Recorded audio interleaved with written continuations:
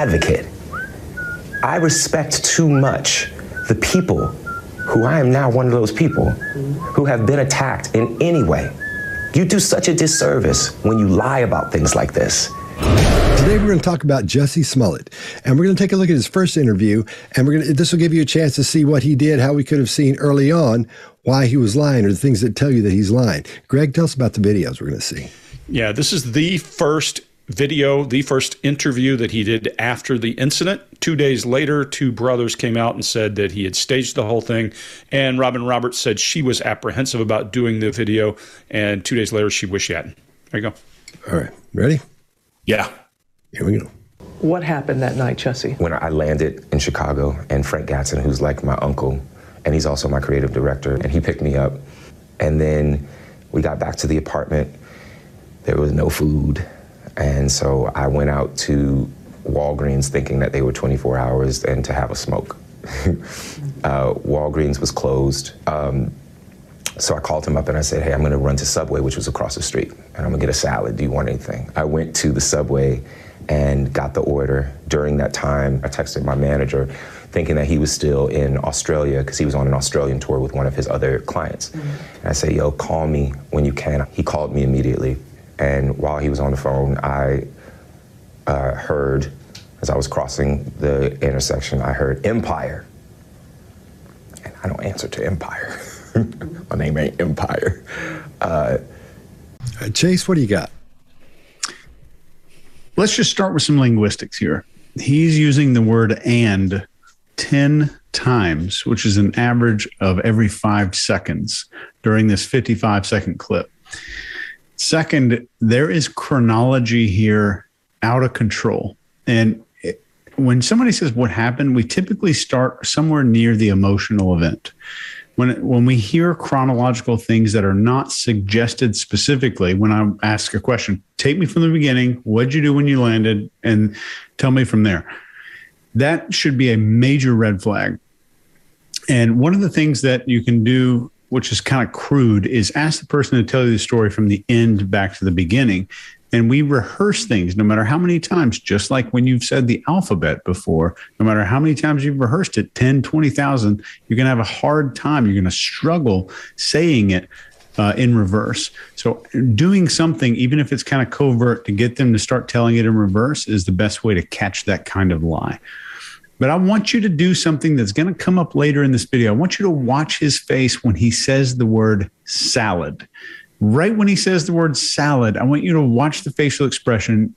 I want you to think he he is feeling smart and he's kind of feeling cool for choosing a salad. And this is going to come up later, and it's probably going to be a little bit scary.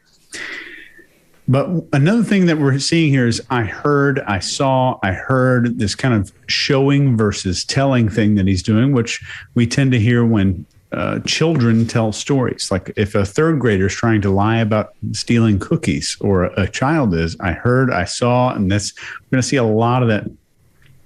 But the second time we hear I heard, the blink rate goes up into the high 70s.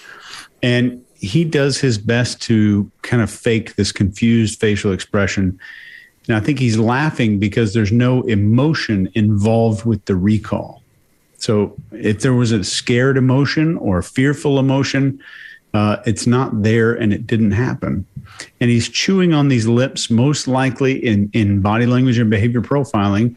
That is that denotes or suggests that there's some need for reassurance or some uncertainty there or this hesitation is probably due to a lack of affect from the interviewer. So he's looking for some kind of affect, some kind of reflection that he that she understands. And I think one of these things when he's talking about and to go have a smoke, he's kind of asking, "Isn't that cute? Don't you think that's kind of cute that I did that?" And you see that facial expression there. So remember that facial expression because we're going to see that later during a time when it really shouldn't be cute at all. Scott? What do you think? All right. Yeah, a lot of times uh, I did like four videos on this when it first came out on uh, somewhere else. So I'm gonna I'm gonna pull a mark and sort of focus on the story from uh, from the dramatic part of it. I'll be I'll be doing Mark today with no British accent. So at the at the beginning of this, he's he's setting this up to be a play, the structure of a play or a story. So he's given every person uh, their personality and the background as we go through. He, there's too way too much detail before he gets to what happened. If you if somewhere if somebody came in and robbed you or, or or beat you up or you know or jumped you, you don't start off with, well, here's what happened. I, I, I came in that night on the plane because my manager this and that. You don't, you say, man, I was going into my house or I was coming out and these guys jumped on me, these two big guys, you know, and beat me to death. I started crying and there was a fight and you tell exactly what happened. You don't, you don't lead up with all this information. But then the part where he says there's no food, that's where he's making sure he's as he sets up his story, he has to make sure that we know or that she knows there was no food, and that's why he's got to go out. So it's two o'clock in the morning. He's got to set up a reason for going outside. So there was no food in the house. So that's the first part of it in his little in his little play here. And then he locks eyes with her. Uh, to make sure that she's listening and make sure she gets all these details as he goes through. And he laughs, and you're right. Chase about the, the, part about where he's laughing about having a smoke. He's trying to be all cute with that. Like, I shouldn't be doing that. I know I shouldn't. So let's connect there. He's trying to connect with her at that point. Because I think maybe he got some, some, uh, a little bit of, of, not hostile, but I think she was a little bit off puttish with him because I think she knew out of the gate this was not going to go the way he was hoping it would go. Uh, so we're looking at, at good versus evil here. Now, uh, what else? That's that's know I could keep going. Okay, I will then. Um, he's got everybody at, at, this point. He's setting everybody up in their places. He's got the manager because he's going to come back to him about the phone. You're going to see that in a little while. He's got these guys. They're they're they're going to be hollering at him in a minute and saying all this rude stuff. He's given everybody their their own personality and their own backstory for this little play.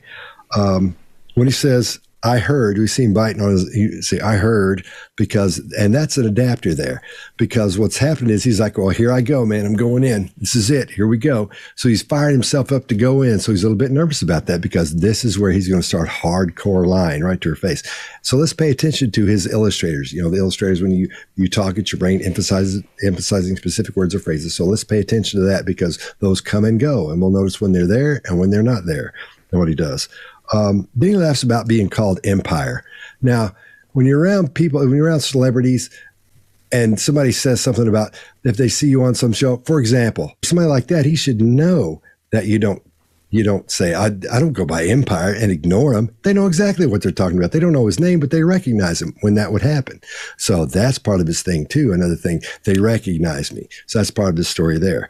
I'll end it there and, and go to mark. What do you got yeah, so uh, well, not a lot other than to agree with everything that you've both said so far. But let me let me read out some other stuff other than the ands there, Chase. Uh, and I haven't got all of this, but I've got most of it. I think when and like and and and then and so then laughter, hmm, sniff. Uh, um, so and during that time and uh, as. Well, already straight out of the gate, just because of that that stuff around the detail, I'm already not in a good mood about this. Then let's go into what the detail is that he's giving. Well, Uncle's creative directors, and I agree, uh, Scott, he's setting up these characters and the geography around this so he can go to it later on, so he doesn't have to backtrack and go. So hang on. So why was the phone? Why were you on the phone? Why were you at the house? I don't get it. He's he's he's seeing us off at the pass around this, so he doesn't have to go back. But it doesn't make sense, and he's having to fill in between. So we got Uncle, creative director, salads, no food, Walgreens, Subway, um, Australia's involved as well. I mean, just all kinds of stuff uh, in there. It's details, details, details. And we're going to find out later on, he's devoid of a whole bunch of details. For somebody who is so detailed up front, later on in this, it's like, well, where's all your detail now? Why is it suddenly disappeared? We've got that lip retraction. We'll see a lot of top lip retraction. We'll see that bite to the side and bite to the front as well. That's going to show up regardless of, of what that is about. Lip retraction is always, you know, something of concern. So, so concerned about something, anxiety about something there. But what I want to focus on very quickly here is uh, later on in this, I feel he's actually going to be quite a good actor. You know, there's going to be a later point here where, where I'm going to go, that's some really good acting. We've got a good actor here. Up front, he's showing the traits of terrible acting. Terrible acting because what a great actor does it go, is go straight to the emotional heart of the moment, straight to the drama. They launch into the drama. Number one, what it means is, is suddenly it becomes very, very entertaining for a start, but also your audience kind of want it to stop because, because they'll get such a lot of empathy so quickly that they're like, okay, can we move out of this drama into, into something calmer? So it would be much better for him to hit the emotional core of this story and the pain. And then the interviewer might go, okay, well, let's not press this one any further. Here's what he does. He does what a bad actor always does, which avoids the drama, tries to move around it because they don't want to show themselves up as not being able to reproduce it really well, or actually that they find it too painful themselves to kind of reproduce it and they want to avoid it that way. Bad acting up front, terrible storytelling in many ways up front, other than what you say there, Scott, in that he's laying out, you know, his pieces. Mm-hmm quite well. So I'm very much concerned. Moment one from uh, from this one, uh, Greg. What, what are your thoughts? Yeah, we're all on the same page. The and, and, and, and then jumped off the plate at me very early. Um, there's an interesting thing. I always say the truth needs no support but lies sure as hell love a crutch. And this guy's got all kinds of crutches in this one. As you listen to it, he does a solid one minute distancing from the question. She comes right out of the gate by saying, Tell me what happened. And he even steps on her a little bit as she finishes, like he's got something to say, and then says absolutely nothing with regards to content in this first minute. He does some iterative storytelling with long vowels. Remember, we heard this with Aileen Wuornos around friends. In this case, food. He's asking for her to push back and give an opportunity. And when she says what happened that night, she's open with him. She has her chin up. We're going to see her body language change throughout this video, but she starts off very open with him. And then he does this whole thing to say, he starts wrapping himself. I think these characters are more than geography. He's wrapping himself in associates. Because if I'm traveling with the Pope, the Dalai Lama, and another good person, I couldn't have done anything wrong. That's a really good technique for people who are trying to get credibility. I call it credibility by association. So all these good people are on my side, and then he goes out and he starts talking a, bit, a little bit, and she's starting to close her eyes a little bit and pay attention to him. Like, I'm not sure this sounds exactly right. He's rolling on and on. Then he tried that snicker around having the smoke, and he does hard eye contact when he does, just to see if she's connecting. She doesn't. Then he tries again at salad. He does a little smirk. He goes to that down internal voice, that over to the left. When he starts to say, I was on the phone, I dot, dot, dot, there's a pause. That pause means he's editing and adding something. All this stuff to me, all these are props to his storytelling. And he still hasn't given her an answer at one minute in. Then finally he says, My name ain't Empire. That's another cutesy. He tries to connect and he does. Look, when I was 14, I got my nose broke by being mugged. A guy hit me in the face with a Coke bottle. That's what I remember most about that whole incident. I don't remember, hey, I was talking to my friend and we were talking about this, or I remember the impact. And I remember, like, you know, I was going to stand up for myself and got my ass whipped, is what I remember. That's the way it goes. People don't, all that stuff goes out the window when this really happens. Uh, this is unbelievable from the beginning to me. But there we go. What happened that night, Jussie? When I landed in Chicago, and Frank Gatson, who's like my uncle, and he's also my creative director, and he picked me up. And then we got back to the apartment. There was no food.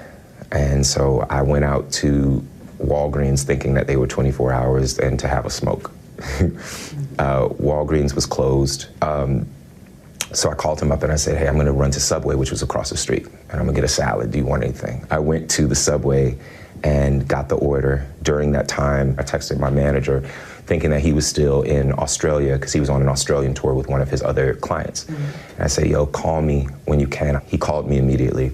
And while he was on the phone, I uh, heard, as I was crossing the intersection, I heard Empire. And I don't answer to Empire. My name ain't Empire.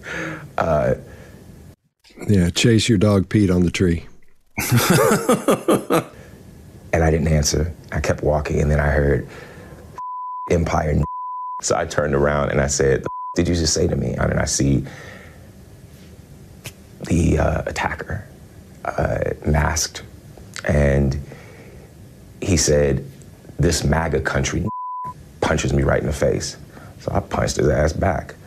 And then um, we started tussling. You know, it was very icy. And we ended up tussling by the stairs. Uh, fighting, fighting, fighting. There was a second person involved who was kicking me in my back.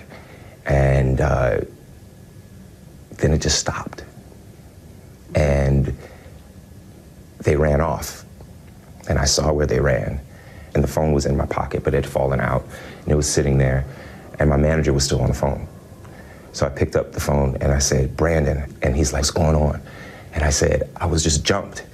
And I then I look down and I see that there's a rope around my neck, which I hadn't. You hadn't noticed that, it before? No, you didn't because see? it was so fast. You know what I'm saying? It was so fast. All right, Mark, what do you got?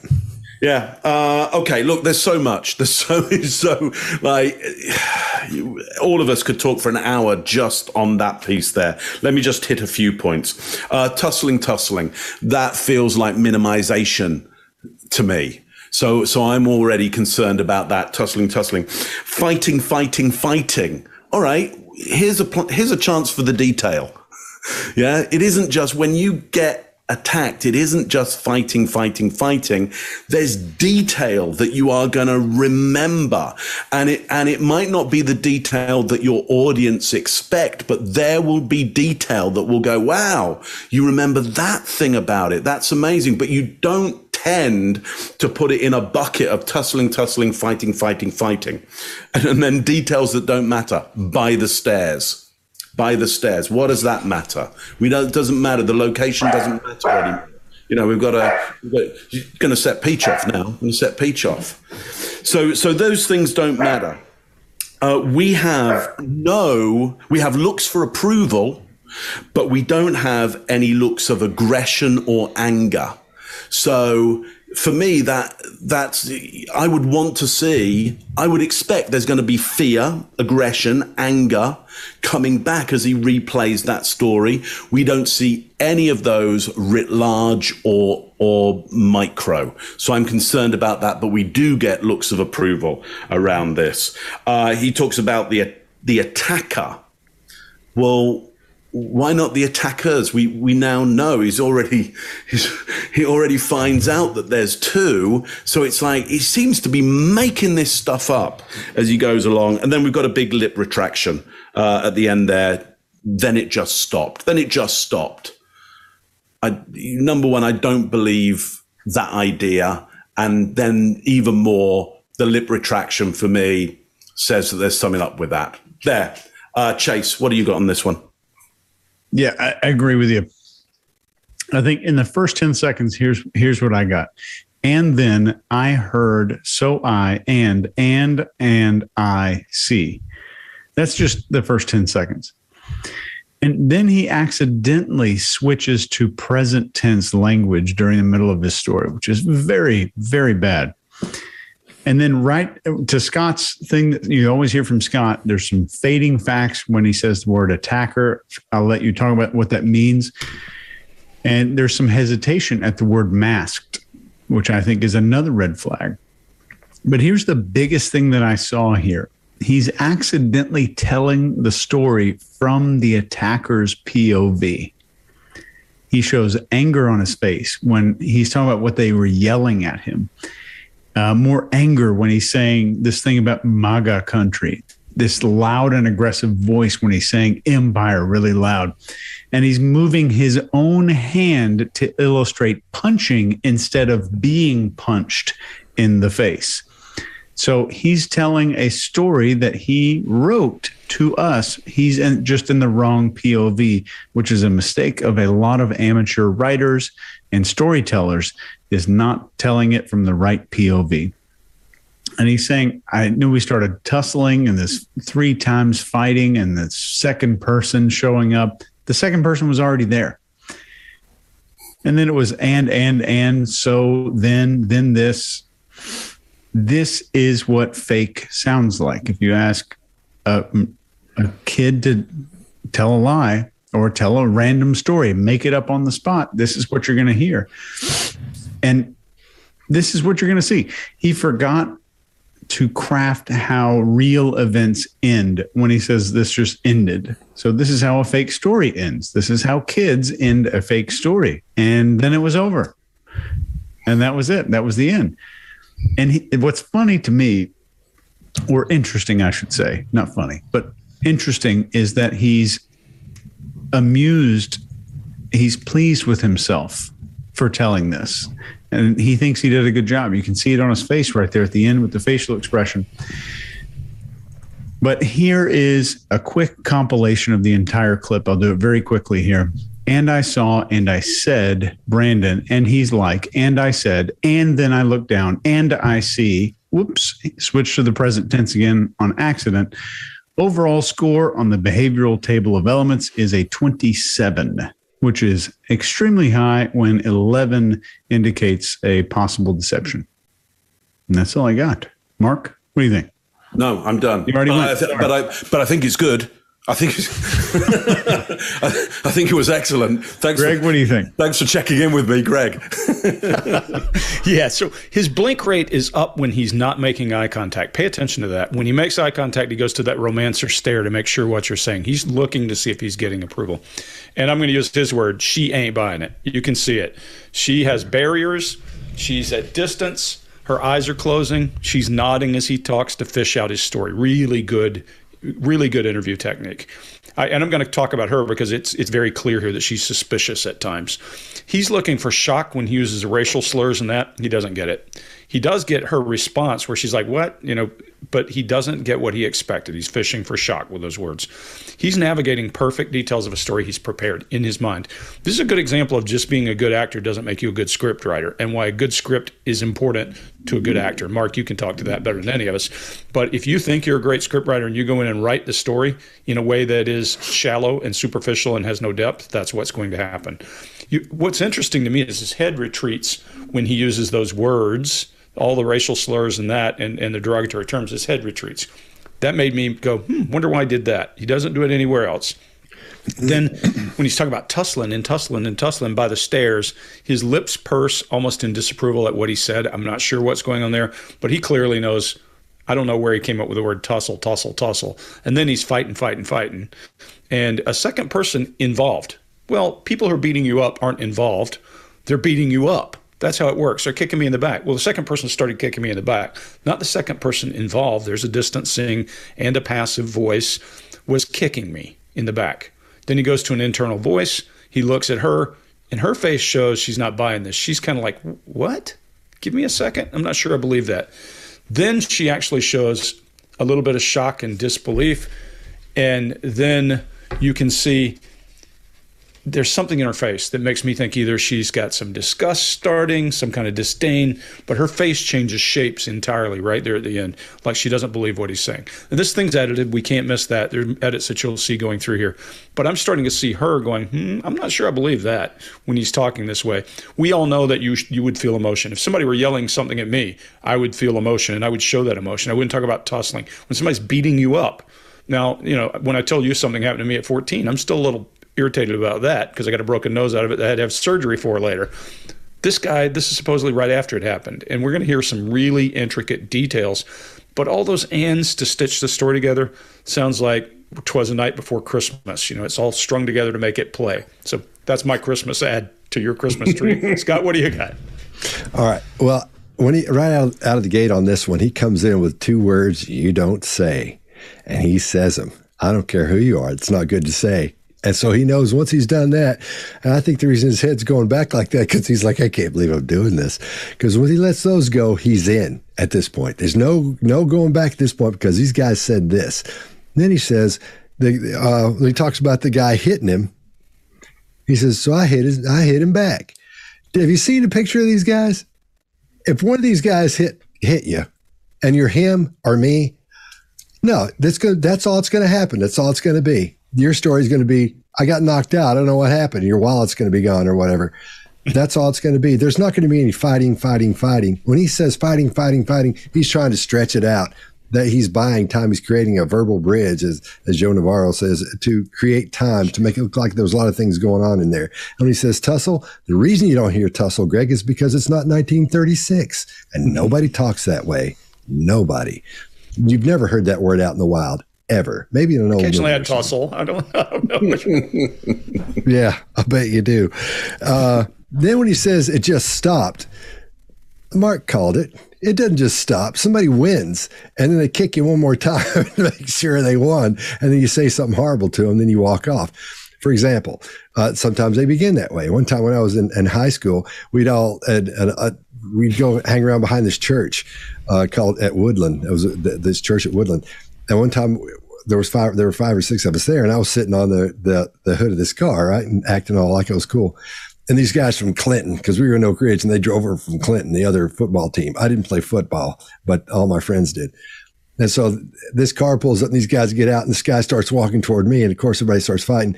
And I, I said something really graphic about his mother. And he hit me one time and it knocked me on the back of the thing. And I just, I, and I pretend I was knocked out so I wouldn't have to do anything else because these guys would have killed you. They're huge. You know, we were like, we were juniors and these guys were seniors or in college or something. I never seen them before. They were big. So when, when you, when it's over, that's it. That, that's it. It's not just a surprise. Something's happened and it's over. You give up and they keep hitting you and then, and then, then you're, then you're done. Um, and, and again, these guys, they're too big for him. To, if there were two of them, it wouldn't have been there wouldn't have been fighting. There would have been running, running, running. There would have been fighting, fighting, fighting in that case. You see, he's turtling. He's getting everything all shut down. He's not moving much at all as he's talking. And he's looking right in the eyes, got the fig leaf going, the whole thing. And it's starting to dawn on him that she's not believing him. Because if you look at her, she's like, no, this isn't, you know, she's trying to be engaged because she's there to do a job. And she's trying to be, you know, hey, this is the way it is, man. I'm here trying to get information from you. But you can't hide those things.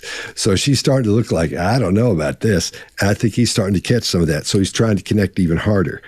And then he starts talking about the phone again, he goes back and relives the part about the phone in his little his little play here. He, he, goes through and and how it was on the ground. He had to talk to his manager and all that.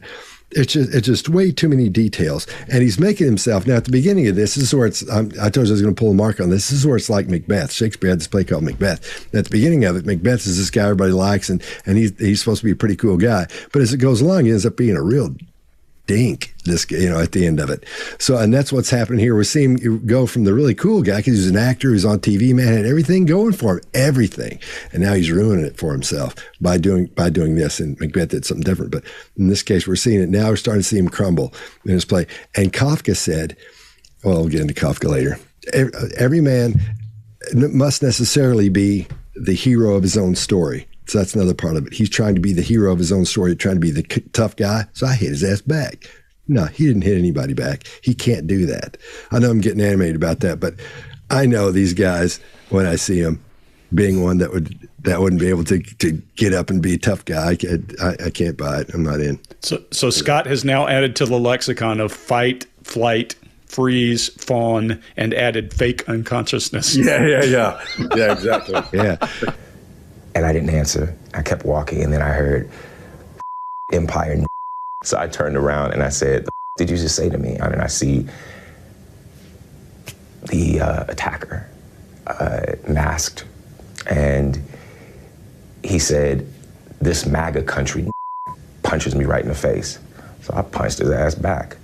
And then um, we started tussling. You know, it was very icy. And we ended up tussling by the stairs. Uh, fighting, fighting, fighting. There was a second person involved who was kicking me in my back. And uh, then it just stopped. And they ran off. And I saw where they ran. And the phone was in my pocket, but it had fallen out. And it was sitting there. And my manager was still on the phone. So I picked up the phone and I said, Brandon. And he's like, what's going on? And I said, I was just jumped. And I, then I look down and I see that there's a rope around my neck which I hadn't. You hadn't noticed that, it before. No, because see? it was so fast. You know what I'm saying? It was so fast. There, and then we're going to go ahead. We're yeah. going to move ahead after that. How long did this all? It felt take? like minutes, but it probably was like 30 seconds. Honestly, I can't tell you honestly. Um, I noticed the rope around my neck, and I started screaming. And I said, "There's a rope around my neck. Did you get any kind of description of the attack? I gave a body description, and I, you know, because I saw this, but and you know, right here or whatever. But I didn't see. I can't tell you what color their eyes were. I can't tell you, and I did not see anything except the second person I saw running away, and the first person, yeah, I saw saw his stature. I gave the description as best as I could. You have to understand also that it's Chicago in winter. People can wear ski masks and nobody's going to question that. All right, Greg, what do you got? So he has some control release things going in here. And if you pay attention, you'll notice them because he'll sniff kind of like Trump did counting coup when he hits one of those. And he's gotten a lot of these little tools that he can use as he goes through. She starts off looking closed up. She's like, How long this all take? And look at that dismissive illustrator or regulator. Like, what the hell? You know, her hands are going like this. When you're thinking about it, you say, How long did all this take? This looks like it's a little dismissive to me. Then he says, honestly, honestly, I can't tell you. Well, of course he can't. He drops back into that internal voice, and then he his blink rate goes up again when he's not making eye contact. At 10 seconds, if you go back and look, he's got this lip compression that hits immediately after honestly. He does that. And you can't miss it if you go back and look at 10 seconds. And then he says, she does kind of i am here to help. She's trying to dig information out of him with regulators. And then when he gets to a point where he's saying something that really doesn't fit, you can see her holding her hands up. Whether that's intentional or whether that's just her brain going, "Hold on, man, hold on. You, are digging to your point, Scott. You're digging deeper and deeper. How about coming up for air for a second? And then he goes, "This is whatever." He uses the term "whatever" as best I could. He sniffs. Those are words he's prepared. Those are things that in his head, whether they're part of the story or not, they're ways for him to disclaim. Then he says, and all this stuff is is disclaimers. The same way we'd say, "Well, to the best of my knowledge," or "the best I can remember." The same thing. He's using all these as best I could, and then his head drops forward and down, and then he goes into another one of these iterative storytelling pieces he's prepared. It is Chicago in winter, so people can wear ski masks without being tested. All this is storytelling. It's all just clusters, and he's just building on what he started with. He had a fractured story to start with. It was poor, and now he's just using all these things that he's thought up. I'll guarantee you, sitting around thinking up the story, he was thinking, well, it was winter. There was a ski mask. Oh, that's the best I could possibly do.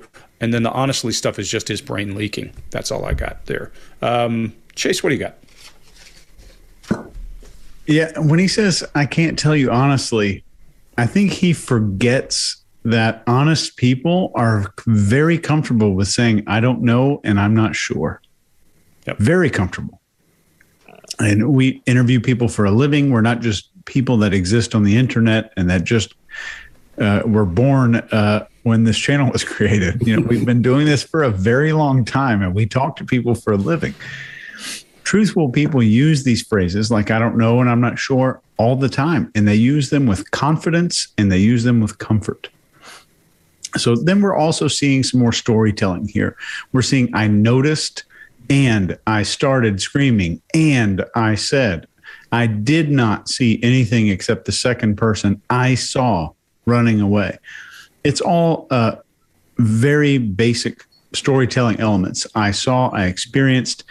So in writing class, when they teach you how to write fiction, if you're if you have a good coach, they'll delete all of that stuff. She noticed that she wasn't alone in the room. That gets deleted. She wasn't alone in the room he felt hot. And that that goes away. He was hot. Not the feeling of it not the notice not the become aware to realize. All that stuff goes away. And finally here greg i was checking boxes as you were talking. You got a, a lot of my stuff here but uh, or a lot of the same stuff i got. I love that he is not aware that he's helping the attackers explain why they were wearing masks for the sake of his own narrative. I think yep. that's uh, amazing, truly amazing. Mark, I'll well, call on you for cool real thing, this time. I want to add back to one of the things you said. The cool thing is you don't need to write a story. The story is believable because it wrote itself if it really happened. So you don't have to think of all that BS that he's having to put in here. It's, sorry. True. Yeah. Uh, look, I think there's some hiding time in there. I think there's an embedded confession there. Honestly, I, I can't tell you honestly. so for me, it's like, uh, and I, I'm with you, Chase. Like anybody who's telling the truth would be fine to say exactly. I can't tell you exactly. You know, that would be okay. Also, he explains that that uh, time sped up during this what I've noticed about people who tell stories where they've gone high in adrenaline and into fight and flight is, is time goes in the opposite direction. It slows down. Yeah, as you become so much more perceptive of some of the small things that are happening, which is why in those stories of fight and flight, there's there's tiny details in there that people notice about stuff. For me, this is going in the opposite direction. Or people black out, or they dissociate completely. They're like, I just disappeared. I was floating above the situation. All kinds of other things, in my experience, tend to happen and not time speeding up to like ah, I just don't know what what occurred. Okay, so that's that's a bit of a problem for me. Andy does a, another of those lip retractions again. No fear, no anger. Certainly no fear or anger when he's uh, should be living the situation and explaining the story from his point of view, I don't see any large demonstration or micro demonstration uh, of feelings of fear, anger, uh, surprise, um, any of the things that you might have. So I, am worried about that. Um, I can't tell you the color of their eyes. Well, that's okay. We don't really need to know that. Like any other, like some bigger stuff would actually probably be more helpful than the color of their eyes. And and we know that that he says. I think later on that he that he gave a description of them. So just, it's okay. Just give us the description that you do remember. Don't avoid what did they look like by going, yeah, color of the eyes. I can't, sorry, I can't give you. That's just avoidance. Um, uh, oh yeah, as best I could. He has that sniff. Uh, so yeah, I'm, I'm unsure, Greg, whether that's, as you say, it could be him scoring a point there as best I could. Look, I'm doing my best. Uh, or maybe there's some stress around that, maybe a bit of both. Then he hits for me a classic Prince Andrew. Andrew. The whole thing of of Chicago is he says you have to remember. Well, that is Prince Andrews. Well, of course, in the Navy, well, you have to remember in Chicago, and it's like we might not understand Chicago, and we might go, "Oh well, yeah, you." Sorry, I didn't understand that. If it's cold in Chicago, of course they'd already be masked up. Of course, people who by chance are going to see you, by chance are going to see you, and then by by seeing you are going to do racial slurs and then form an attack on you it's now reasonable that they would be masked up and you wouldn't be able to see their their face. I think it's possible, but what he's trying to do is make it very, very reasonable that that would happen. And, and I don't, but I buy it on possibility, but I don't buy it on reasonable that that would be the case. Then uh, for me, we get a either a bitter taste in his mouth, um, or potentially Duper's Delight. I don't know which one it is. Either way, that uh, asymmetry and the upturn in the mouth isn't good. I'm not sure which one it could be, but it isn't good. Most likely, more likely a bitter taste, I think. Um, and, I, and I'm the same as everybody else here. The interviewer is not nodding along. She is not showing emotional empathy for him. She is not buying this right now. And she's in the room with him. And we would expect if this was a buyable story, that she would be affected. There's all kinds of good reasons why she would be affected by this, why she would be on his side and she is not buying it at all i would say and that and and that alone is a bad smell test if you've got somebody in the room who isn't buying it who should buy it based on just the emotional empathy of being in the same room as a real story and she's not taking part in this that's a that's a bad situation uh, scott what do you got on this one yeah well, he doubles down here because he goes to, well, I'll tell you about that in a second. When he comes in, he starts saying um, he doesn't know how, he, he can't honestly tell her, you guys are all right. He can't because he's lying. That's why he can't be honest about it because he, it didn't happen. And then he he as he came in strong, man, with those the two mm-hmm. worst words you can say right now in in the United States or the world. He used those two words, and not only did he do that, he doubles down by bringing in a rope. He says, I noticed a rope around my neck.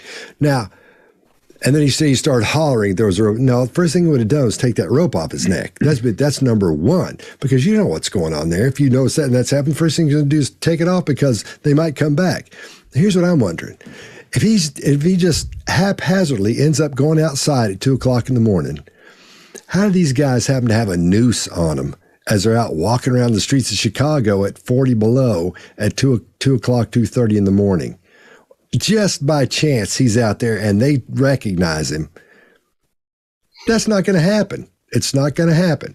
And I'm sure at some point in the interrogation, somebody or the questioning, they said, "Dude, you got to be kidding me! This didn't happen." His manager should have said, "No, don't don't say that. I already said it." Well, that's too bad. And not only does it double, he doubles down here. He does it again in a little while, which we'll go over. And that's just you go. I can't believe this. He hits everything and goes deep. That's why he can't turn back and say, well, okay, I, I, was lying about that and I'm sorry. And, and a lot of this, it wouldn't have been as bad as it is for him right now, but he's losing everything. He looked at the attacker, at the attacker, but all he described is all this little stuff here he couldn't see. You have said these guys are huge, both of them. They're huge. They're big. They work out and stuff. They're big guys. You would, and yeah, they had a mask on. I didn't see who it was, but he goes, he goes that far. But he goes away from the big, huge stuff down to those little details that you would just that you wouldn't bring up till later on. Well, you didn't recognize. No, no, no, no. They had a mask on. That would have been secondary. How big they were would have been right out of your mouth, right out of the gate there at that point. Then he locks all that down, like you guys were saying earlier about how it's cold in Chicago, and that's and so it'd be normal for somebody to have a mask on. I couldn't see there. I couldn't see anything. Didn't say anything about their skin color either. Said I couldn't see if, I, all I could see was this right here, you know, this and this right here. Come on, man! If you're wearing a ski mask, we've all seen people in ski masks. You can see you can see a lot around ski masks. So this is just at some point, somebody just needed to shut him down and go, look, dude, you shouldn't do, you shouldn't do this. You need to go straighten this out right now. This is not good. This is not going to turn out good. But he doesn't have anybody around him, I guess, to do that at this point. So that's all I got. And one thing on the when you said he he he started screaming, imagine hearing someone tell you that you know the boss called them at one in the morning and they started freaking out or they heard some really bad news about a family member and they start and they said i started to feel sad or i got into a car accident and the airbag started to go off. We don't do that. That doesn't happen well, my favorite part of this whole story is he's tussling and fighting, fighting, fighting, and gets a rope around his neck, but he's still holding on to his sandwich. At the end of this thing, it takes it back. You know, you're like, who does that? Miracle. That I understand. That Subway. like that that is more than plausible as far as I can see. Subway owes him a check. It's a Subway. It's a Subway sandwich. They Protected it. Should be a great I, I like, I like Subway as, as much as the next person. You like a Subway. We all like a Subway. I do. I do. Uh, turkey and, and provolone. Yeah, I think it's I good too. With a ton of baby tuna, spinach, plenty salad in there. The tuna is good. Dressings, jalapenos.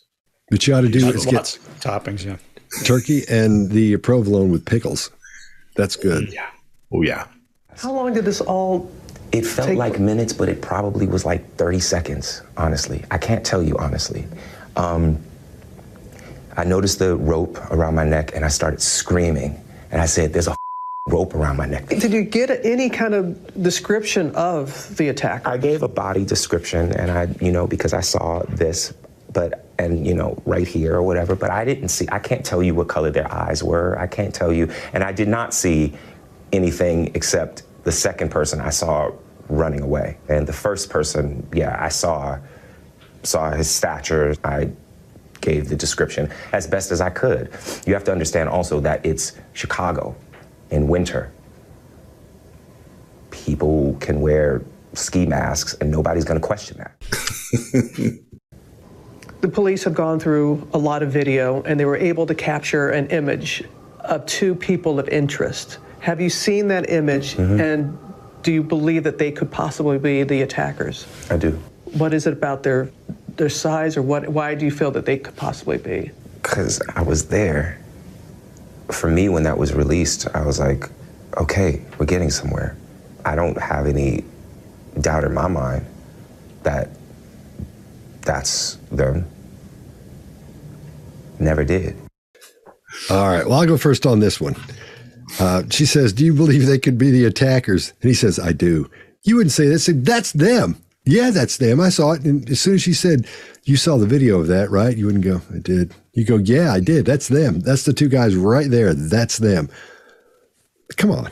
This this is just this is just it's a bad lie. We know. I'm going to quit saying that. Everybody understands it's a horrible lie. Um, then uh, for body language, again, he's really still, and his blink blink rate's really really low. He's got to, the thing about is the uh, compressed lips and the tongue and all that. I think these are adapters in there because man, this guy is nervous because he's just gone all in doing all this stuff at this point. So I don't think he's trying to hold anything back or anything. I think we're seeing these as adapters. That's what I, I think's happening here, and um, that's where I'll leave it. I just, it's just bad. Uh, Greg, what do you got? Yeah, and when I see his lips this time, I don't see compression. I see that disappearing lip and he's asking for approval. I don't see it the other way. I don't see it as a compression holding back anything. In fact, he's trying his best not to release anything. He's just trying to go, oh, uh, I better hold off on this one. What if this goes wrong? Her baseline is pretty clear now. She's got lots of hand movement. She's illustrating, she's asking, she's trying to get information from him. And then he says, I have no doubt in my mind. And he is less emphatic about that than he is about getting a salad in the first video. So go back and watch the first one. when We talked about food. He's more emphatic about that than have no doubt in my mind. Really stupid.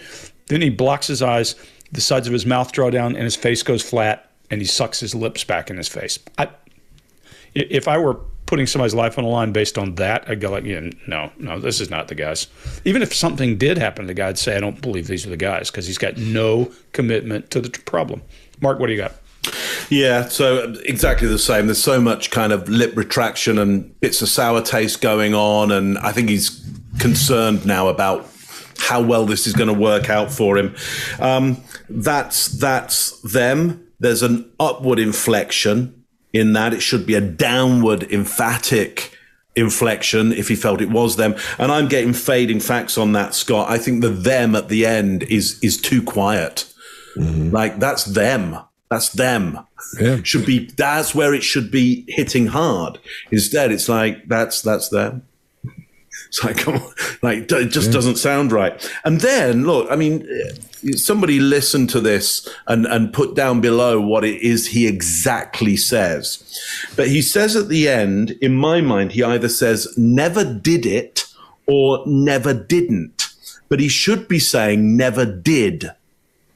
Yeah never did. It should be never did, but there's an extra syllable at the end, and I can't quite work out. And I didn't put my headphones on them and, and, and work it out. I can't work out whether it's a an embedded confession of never did it, or or never didn't. In that he's just his brain is now tripping out and he's adding extra syllables where they shouldn't be. But I truly think he, he should be saying never did and he adds an extra syllable at the end for some reason, and that that's it's really tripping up for him now. Uh, Chase, what do you got on this one?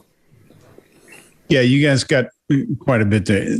There's a lot of internal dialogue where his eyes are moving down and to his left.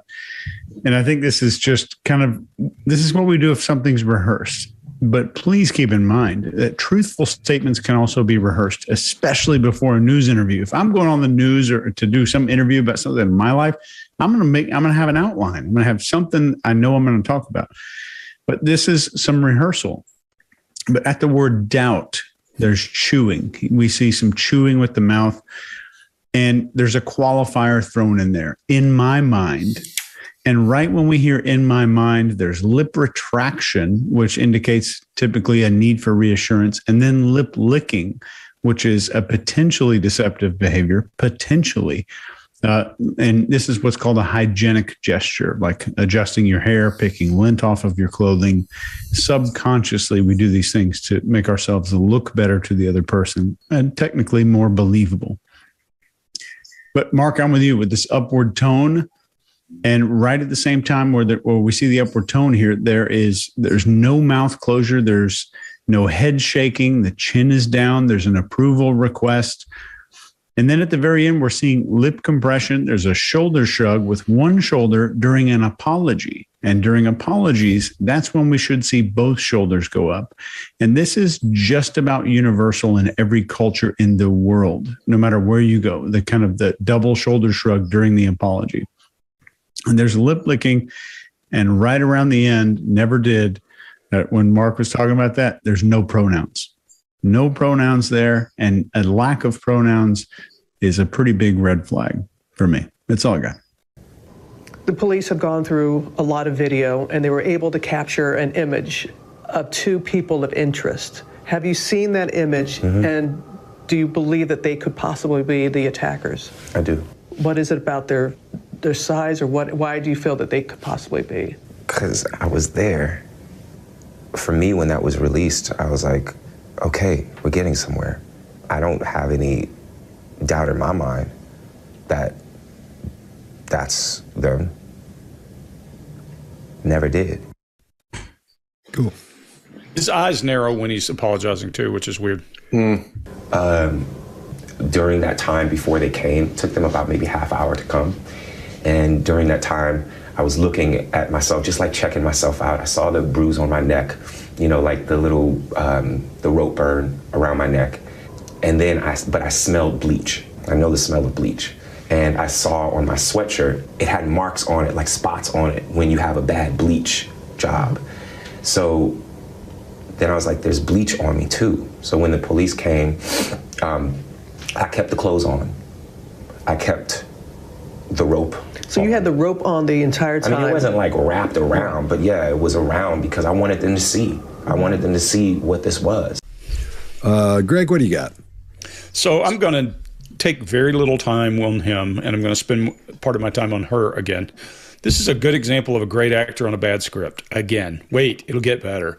And she is not believing this. Look how balled up she is. She's closed up now. I would be surprised if we asked her and she said, No, I didn't believe him. I mean, it, she didn't say that because she's so balled up. And then he's doing that scorekeeper thing again. He goes, I had a bruise on my neck, and he sniffs. There's one of his pieces. But then he says something really out of character for any human being the little rope burn on my neck.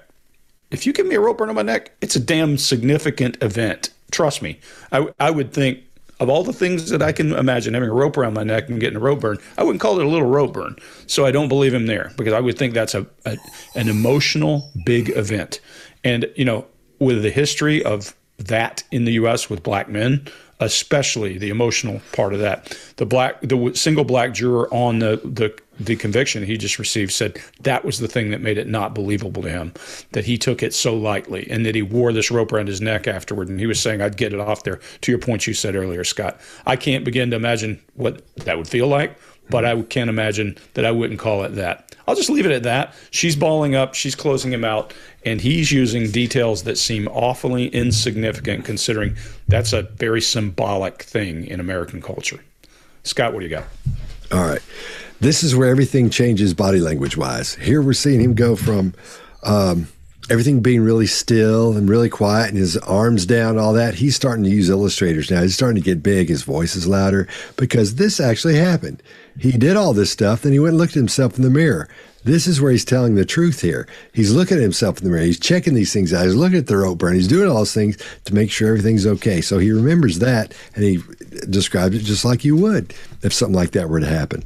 So in this in this section, he's actually being honest about it for 90% of it because he's just describing what he did once he did this stuff to himself. So, or these guys helped him do as he was in there looking at it, make sure everything was cool to uh, settle the cops when they showed up. And the rope is the first thing you you do is take the rope off. You wouldn't think, hmm, let me think about this. I'm just going to leave it on. I'm going to leave it on. And nope, no, you're going to take it. That's the first thing you do is take it off. You don't look at it in the mirror and scooch it around and stuff. It's a noose. Mark, what do you got? Yeah. So, first of all, you got, the, as, as, as, excuse me, as you're both saying, the symbolism of that, of that rope. Reason number one to remove it from yourself because of the shocking symbolism of mm. it. number two, if you've ever been around theatre, which my guess is he has, you know that rope is super dangerous on the best of occasions. Yeah. And you use it in your work. If you use rope in your work and, and around film sets, around theaters, around any actor, there is rope. And you learn very quickly if you've got rope around any part of your body, you get that off you really fast. And if you see rope on somebody else's body, it's like you get you get that out. In fact, we have a whistling system uh, in theatre. Uh, well, it's not a it's a whistling system in that you don't whistle in theatres because theatres were built by by naval people, actually from the beams of some of the old naval ships, going right back to, to uh, Queen Elizabeth I. And so the people running the ropes uh, would be ex-Navy. And so you didn't walk around whistling in a theatre because they would start lowering stuff in because of the bosun's whistles signals.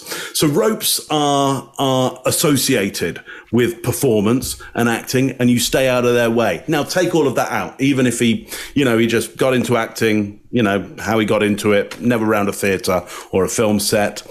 Um, my, if you've got something round your neck, it is a very vulnerable area of the body. And the first thing you're going to want to do is escape that. You will have a reflex to escape that and you'll try and escape until you've completed. Greg, I'm sure when you've, you know, taken people in the past, they fight and fight and fight until they can't fight anymore. They just keep on going. They, they keep on going. They tussle. They, do. They, they tussle. They, they will tussle all the way to the steps. They will tussle all the way to the steps, yeah. But for him, he's like, well, I tussle, tussle, tussle. When it comes to a rope around my neck, I thought I'd keep that on. I mean, just like a shawl. He seems to be explaining that it's a shawl situation now. So it, so anyway, doesn't, it doesn't make sense in so many ways. Uh, let's go to one more thing on this, which is the bleach. So the geography of the bleach is it's somewhere here, but it should be here he should be talking about the spots of bleach here, but it's but he's kind of miming that it's either bleach in his hand or he's got a shirt in his hands and he's pointing to the pe- the bits of bleach. It doesn't make any sense. It feels like he maybe took a shirt, put bleach on it, and he's showing us how there's bleach on the shirt. It should be here. So the geography makes no sense for me. Uh, it's, it's it's going really badly for him. Uh, Chase, what do you got on this one? The first thing we see here, which is a red flag, is a breathing shift from his abdomen to his chest. So, which is an increase in stress. The, the closer we breathe towards our abdomen, uh, if you're looking at a person across a room, is the more comfortable they are. And then, second, this probably some of this did happen, like Scott said, but it's still part of a story. And I think this is a great opportunity to talk about, or just to, this whole video illustrates the difference between deception and storytelling. And when we see the stress markers, they're very, very similar to deception. And deception is about filling time. Truth is about information. This is about filling up gaps in your memory and not about a lot of information. And then there's more storytelling lingo, lingo in here. There's I saw the bruise on my neck. I smelled bleach. I saw my sweatshirt. Then there's moves down to internal dialogue during the the bleach story. And I think the bleach was probably realistically added to the mix due to watching maybe too much CSI and trying to cover up DNA evidence. And I think that it's possible, this is my opinion, that he overestimated how much investigative effort is going to be made into this because of television.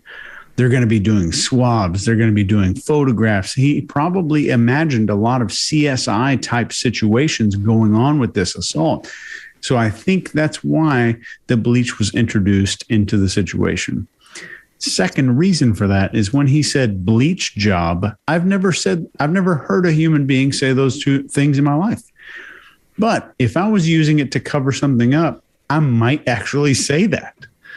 So maybe the words bleach job are truthful. Maybe there was a job to do with bleach.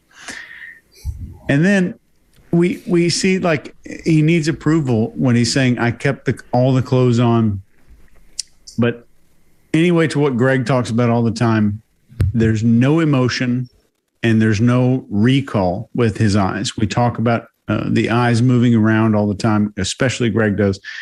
Uh, there's none of that in here. There's no emotion and no recall. That's all I got. Um, during that time before they came, took them about maybe half hour to come. And during that time, I was looking at myself, just like checking myself out. I saw the bruise on my neck, you know, like the little um, the rope burn around my neck, and then I but I smelled bleach. I know the smell of bleach, and I saw on my sweatshirt it had marks on it, like spots on it, when you have a bad bleach job. So then I was like, there's bleach on me too. So when the police came, um, I kept the clothes on. I kept the rope. So you had the rope on the entire time. I mean, it wasn't like wrapped around, but yeah, it was around because I wanted them to see. I wanted them to see what this was. All right. If the attackers are never found, how will you be able to heal?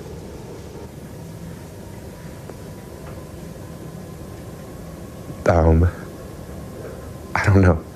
Let's just hope that they are. You know what I'm saying? Like let's let's not go there yet.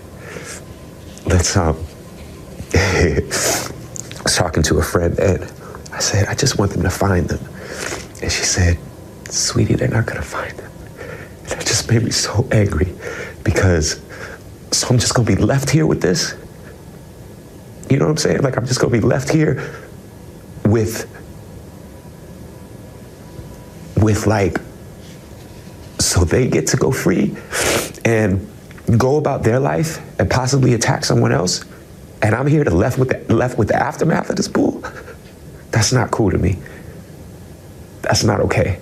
So i understand how difficult it will be to find them. But we gotta. I still want to believe with everything that has happened that there's something called justice. Because if I stop believing that, then what's it all for? That was awesome. Great acting. that was awesome. All right. Uh, Chase, what do you got? I think this is incredible. And uh, I'm starting to talk every time now. I'm checking my mute button every every time I start. I think this is an incredible illustration of fake tears covering fake smiles to cover up the fake tears and talking about artificial anger at the same time. It's like chef's oh, kiss. Perfect. Incredible. There's emotional eye accessing in here, though, but only with a sigh of relief during the phrase, or when he's talking about the attackers never being found. A sigh of relief at they're never going to be found. Then there's immediate lip retraction and some movement to this internal dialogue eye movement down in this direction to about hour uh, five o'clock or so. Right at a, a, critical point here, he's leaning back and away from the interviewer, and I think Robin is doing a incredible job with this entire thing. And I think it's she's making it very obvious to the camera that she doesn't believe any of this. She even said it in an interview after this. Leaning back and away at the words, let's hope they are found.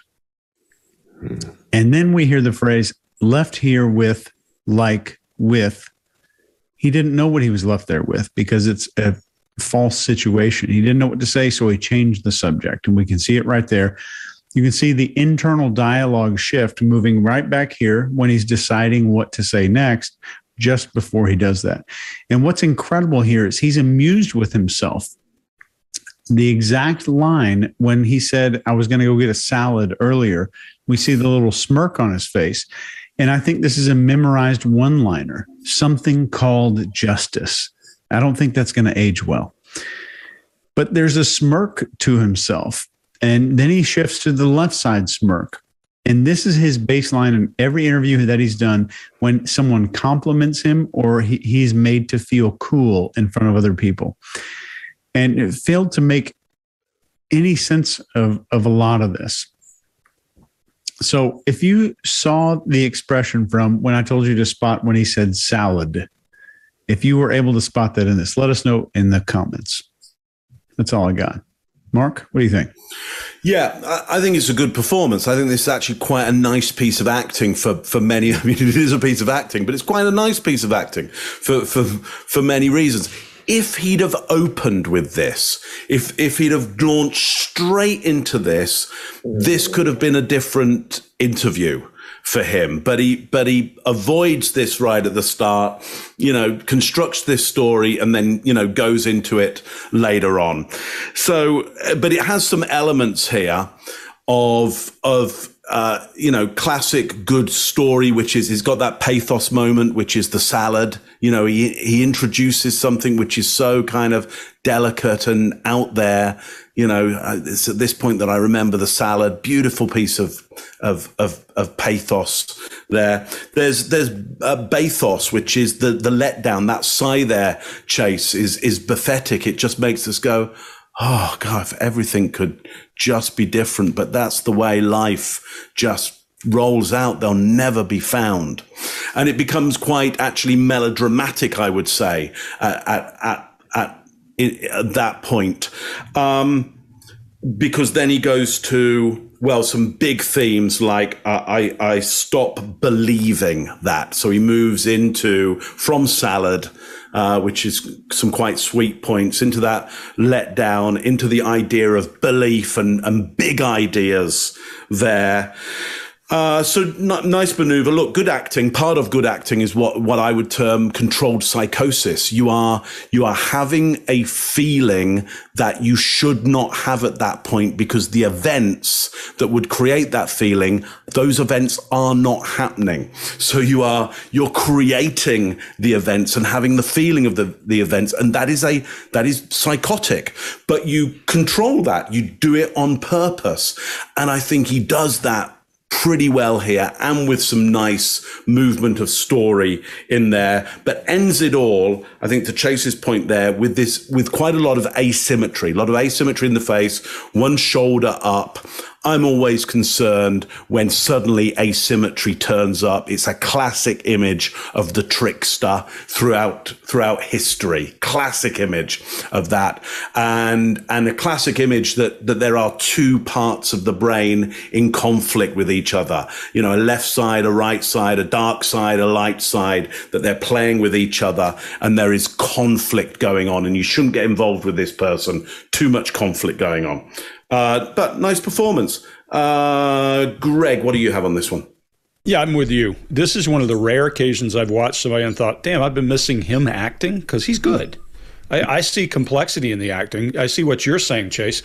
It, you know, I told you a long time ago, my first body language entry was looking for when a person cries, what does it take? He does a great job. He goes to internalize something, that internal voice gives him whatever his reason is. And I'm, you know, no great method actor, so I don't know what it takes. But he moves into a place that makes him actually cry. And he has subtlety. It's not just the crying, it's the brave face while crying. That's complex. If you're doing that intellectually, damn, that's impressive. So he does that and he gets a good cry out. Then he does that whole close. He's he's. I say he's doing close up please when he does that because he looks like he really wants you to see that that whole acting job for just a split second. I see a lot of concern, and for a fleeting second, I see a little grief arch there. But I see mostly concern whether I'm being perceived right or not. The other thing is his body is getting smaller as he's doing it. If I'm really upset I'm probably going to either lean forward and get attention, try to pay attention to you. I, I, probably would wipe my eyes if I were crying, but I think he does a fantastic job here. And what I see that body as when you see that twisting and turning and kind of half face, I think that's sarcasm, Mark. I think it's sarcasm mm. at its best leaking out because he's done such a good job up to that point. When he says, I hope they find him, I think sarcasm comes out through it. She doesn't believe him. If you look, her face, this is the thing I said earlier. I thought it was in that earlier video. Her face does something that's akin to disdain or contempt or disapproval or disgust or something in there like, hold on a minute. Her face just wrenches up. And I read later, she said she could not win with this video. It was one of the most difficult, complex interviews she'd ever done because she's a black woman who is gay and him being a black gay man, she was afraid that the community, that the gay community, would be upset with her if she was too hard on him, and that other people would say she took it easy on him because. So it was a complex situation for her. So we can only wonder what's going through her head at the same time. Remember, we're studying symptoms. We're not studying mind reading. To your friend's point, Scott. Scott, what do you got? Yeah, well, you all have covered everything. But you're right. It's fantastic acting. This is really good because when he gets, he, he does everything that says it's acting because he's not really uh, showing the true emotions he should tr- show when it comes to his forehead and all that. We do see, like Greg was saying, a lot of concern. And for just a brief amount of time, we do see a little bit in the grief muscle there. I can't do it. Greg, will you do it real quick? There it is. So we see just a, a, a bit of that in there. That's hard to do. That's hard to do. So he summoned something up from somewhere. Now, going, if this was a play, then this would have been the place. This was his place. He planned to end it. This is the end. This is it, man. You know, he's getting ready to do his, start his curtain call and all that because he's gone through all that. But we forget about the part where Macbeth, everybody starts hating him, thinks he's a dink, and she's she's there, man. She's there, and we see that in, in, in, the, in the next video. So he's he's doing everything he should do to show that he's feeling sorry, and that was his end. But it didn't end there. She starts asking him some other questions, but it, man, it would have been perfect for that at that point. He's because he's very still, like y'all were saying, he's really still. He starts turtling again, gets really small, really small up in there, locks eyes with her, and it gets so cornball and this just so it's just so corny at this point. And he doesn't wipe his tear until he finishes his little speech there. Then he does his nose and his tears. So, which is another, you know, hello, I'm a I'm an actor. You're welcome. One of those. Uh, and then he laughs. He laughs and then he wipes his tears away after that. So that's really, you know. Now keep in mind, earlier he didn't care about any of this stuff. He didn't care if the police were called. He didn't care of any of this stuff. But now it's such a concern. He wants to get them caught and all that. Earlier he didn't give a hoot. He went when they, you know, his his manager was one that had to call the cops. He didn't do it and all these other things. So this continues his speech to be what a great man he is, still trying to pull himself out of the hole by saying, you know, what about justice? And the curtain should drop at that point, but it doesn't. Yeah. If the attackers are never found, how will you be able to heal?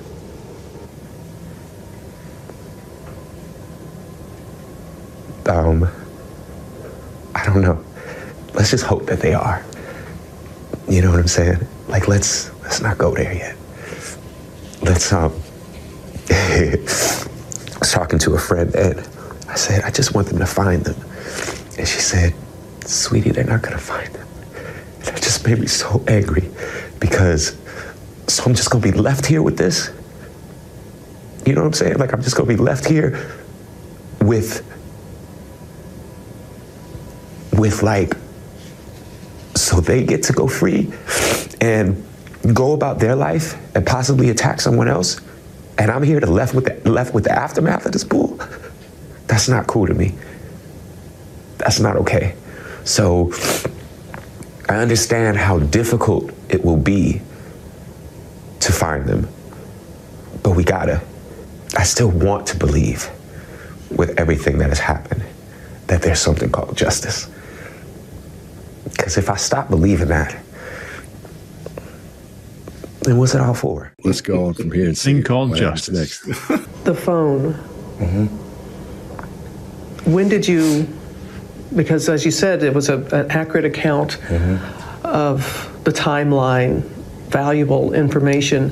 When did you make that information available to the police? We gave. We had to give the phone records, um, which they didn't originally ask for my phone records. They asked for my phone they wanted me to give my phone to the tech for three to four hours.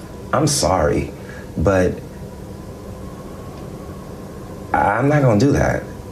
Why? Because I have private pictures and videos and numbers my partner's number, my family's number, my castmates' number, my friends' numbers, my private emails, my private songs, my private voice memos.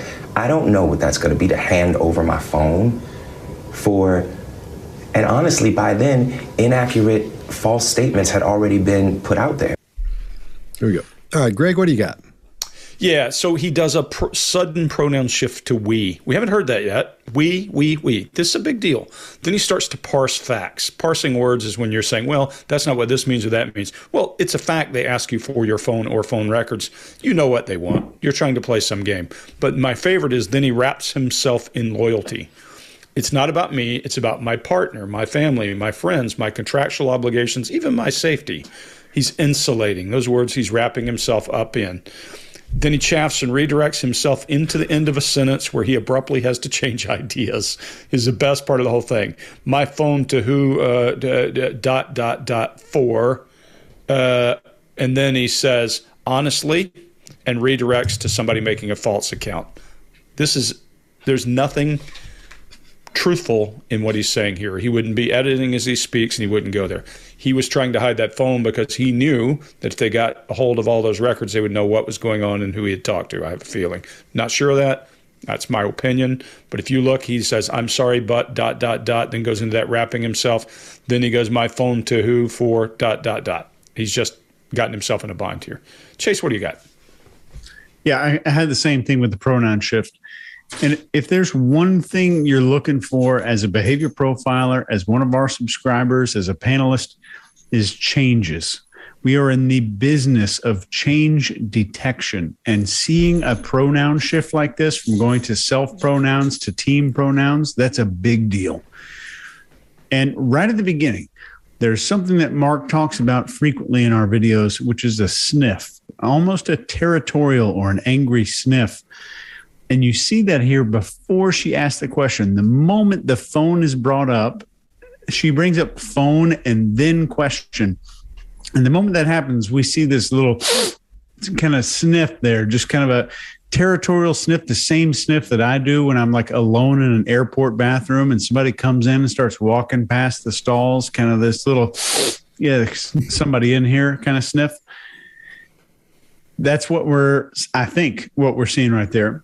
But this is his first time moving his eyes to around two to three o'clock which is another big change, which is what we're really looking for. He usually does this, and now he's doing this. That's what we're looking for.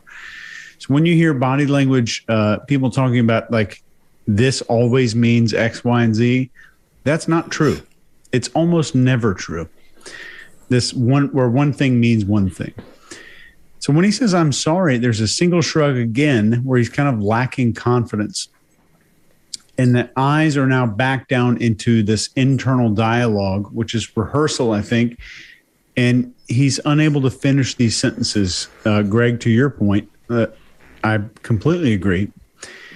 But let's all listen to exactly what's on his phone. It's exactly what's on every phone in the world, on everybody's phone even if it's a flip phone, you've got some private pictures, some private stuff on there. You've got your friends' contacts. He just made a list of what's on every phone in the world. So we're we're seeing that it's not about information, it's about filling time and filling up potential gaps in your mind. So it's not about sharing story, it's not about feeling, it's not about being genuine, it's about filling up time that is what deception is all about. Mark? Yeah, good call on uh, what I call a peach sniff there, uh, Chase. A kind of a, a, huff to say, get out of my territory. In fact, apes uh, have a kind of a more guttural uh, bark uh, which is almost like a cough. And often you'll you'll see us humans, hear us humans give not not a cough from here, but a cough from deeper in the chest to say, "Get out of my territory." In fact, uh, the singer Tom Jones, I believe, uses those kind of ape-like cough, coughs in his singing in order to attract attention to him as like the the alpha male, the alpha kind of singer when he's when he's doing those uh, sexy love songs. So have a listen to to Tom Jones for that kind of sound, a bit, different from Peaches sniff. Uh, but she does her best. Now, uh, yeah, I've got that. Just so you know, we don't kind of make this stuff up. Uh, you know, here I've got the we. Yeah, there. When did you? Well, we, and for me, that suggests as well, he's sharing out the blame as well. He knows there's something wrong about withholding uh, the same kind of phone that everybody else has with the same kind of information. And so he shifts the blame. It's no longer him denying the police access to that. It's, well, we we deny the police access to that. And then it, there's too many proof points for his argument there. You know, I've got this on it, this on it, this on it, this on it, the other on it. He's protesting too much.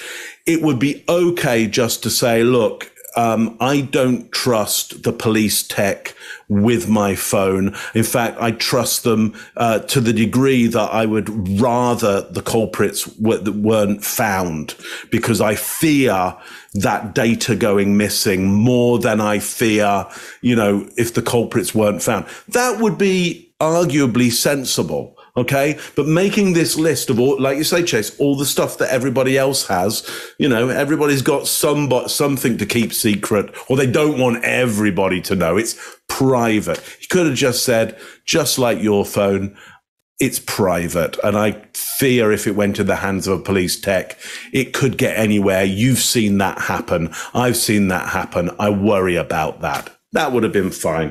Uh, but that's all I got on that one. Scott, what you got? All right. I agree with you. And I think having having all this stuff that supposedly happened to him, and I'll wrap it up with what you just saying, Mark, is uh, talking about the the word, the names he was called, and a rope and the bleach and all that. He wouldn't have cared about the stuff on his phone. He would said, "Yeah, I gave him everything because I want to catch him." His main concern would be to be to catch them and to make sure they knew exactly who these people were and they got justice. So if he's so concerned about justice, then why didn't he give him his phone? All that stuff would have be, would have been secondary at that point because he said they broke all of the the the main rules you don't break in in that situation, and and he swore up and down in court that they did that, and there's no turning back at this point. So he should he should have he he would have given their the phone over. He would have said no. That's yeah, I gave him the phone. That wouldn't even have come up because he would said yeah, here it is, and gotten that gotten that taken care of, you know, and gotten that out of the way. The phone. Mm-hmm. When did you? Because as you said, it was a, an accurate account mm-hmm. of the timeline, valuable information. When did you make that information available to the police? We gave, we had to give the phone records, um, which they didn't originally ask for my phone records. They asked for my phone. They wanted me to give my phone to the tech for three to four hours. I'm sorry, but I'm not gonna do that. Why? Because I have private pictures and videos and numbers my partner's number, my family's number, my castmates' number, my friends' numbers, my private emails, my private songs, my private voice memos. I don't know what that's going to be to hand over my phone for. And honestly, by then, inaccurate, false statements had already been put out there. Let's roll around the room one time. We'll give we'll wrap up and say what we think about the whole situation. And uh, Mark, what do you got? You go first. Yeah, we'll go so Mark, I, we'll go to Chase and then Greg. Sorry. So I got uh, for me an interesting one about this, which is which is uh, bees and cheap signals uh, in the beehive. If you come back from uh, searching for honey and you come back and you give the signal, you give a dance that suggests that uh, you know if you fly X degrees to the sun for X amount of time, you will find honey. The bees will go out. They'll they'll because because they will believe you. Okay, if they don't find honey, they come back and find you as a bee and they kill you. Now, because you, you got to have really cheap, inexpensive signals around the stuff that really matters. Else it would be too complicated to communicate it. It also means if you give that signal, you have to be right. And if you're wrong, the hive will come and get you. Well, that's his problem now. Is it, it is a, in behavioral terms, it is a cheap signal to go, Hey, they said this. They put a rope around my neck. And of course, we're going to go, well, that needs sorting out. That needs sorting out immediately. Okay. Our first, our first, um, move is going to be go, go we, we got to find those people. Uh, and we believe you and we got to go and find these people. Well, if you turn out that you gave those cheap signals and you were lying, you're in big trouble right now. Society is designed to extricate you. It's designed to show that it is incredulous uh, to that, and it will show disdain and contempt around around that. So he's got a big problem right now, behaviorally. Chase, what what are your thoughts? But he may only have a big problem because he's got like confidential data on his phone. You know, that was the only reason. That's what I don't have any on mine. I, I don't know anybody who does. right. Yeah, yeah. But I've been training. My daughter is 14 years old, and I've been training my daughter in this art form, I guess I would call it, uh, since she was about six. And to the point where we'd be in a restaurant and I would ask her questions about people in the restaurant, and she would have to answer them correctly to get dessert. And two years ago, we watched this. She was 12 at the time. And the first thing my daughter said was she didn't know that anything about the video. She just saw it on my uh, TV in my office. The first thing she said was, Is this a skit? and I turned at her confused, and she said, like, is it like Saturday Night Live or something? Those were her first question. Wow. And she was 12 at the time. So I'll just leave it at that. My daughter uh, had all of it pegged, every bit of it. Greg? Yeah, if you're going to make up a lie, you should not make it the perfect lie because when you think of the motivation of the people who did it down to the letter of detail they did you don't think about how you reacted. You're going to be more focused on what they're doing and thinking than you are about your response. When, like the guy who broke my nose with a Coke bottle, I'm not thinking about why he did it. I'm thinking about, I wish he hadn't done that. And I'll tell you what happened, how I got in the situation, how he hit me. I won't tell you, you know, where he came from, what color clothes he was wearing, maybe because I might or might not remember them, but I certainly will not know his side of the story. This guy's telling a lot of their side of the story, and it makes his story fall apart. Anytime that you're being interrogated, your job is to hide the truth if you've done something wrong. If you've done nothing wrong, everything I know, I'm going to tell you everything. I'm going to give you every detail.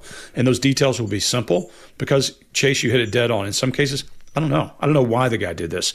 I don't know what color his shoelaces were. I didn't care. He was hitting me in the face with a bottle. That that's the way people talk.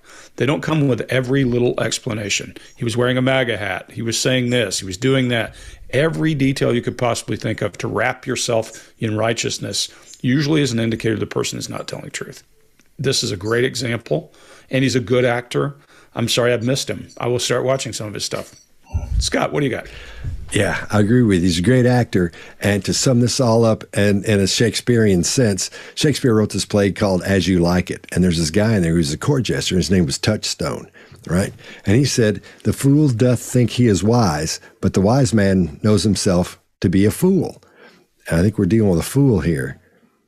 That's all I got to say. All right. We good? Yeah. Oh, good. Don't forget to subscribe. Oh, yeah, don't forget to subscribe and hit that yeah. little bell down there so you know we have a new uh, episode come out. We'll shoot, you, we'll shoot you a notification when a video comes out. Yeah. Sure. I'll see you next time. Deal. The behavior panel. She would have been all over him for that one too. that dog's going to take. No, no, it's going to fall. Chase, your dog's going to fall off the thing, man. Chase, oh, Chase, it's following you. Chase, the dog's going to jump off the table. Dog, dog, dog. Your dog's going to jump off the table, Chase. Stop once I've. it looks like she's going to jump off the table. you go like this. Yeah. No, Chase looks like all the horror movies. He's been, like he's been to there. Asia. Look, look at that. Hey, look. Here, hold your dog up, man. She'll bark. She'll bark at your dog, probably. Look at that. See? I don't think they see what's going on. No. Oh, no. My dogs can see TV. Screen. My dogs see TV. My dog's My got terrible eyesight. My dog can't even see food. like, you can literally wave it. She's like, "What's that? What's that?" You have to yeah. put it right my, under my her nose. oh, it's food. My little dog oh. barks at the TV.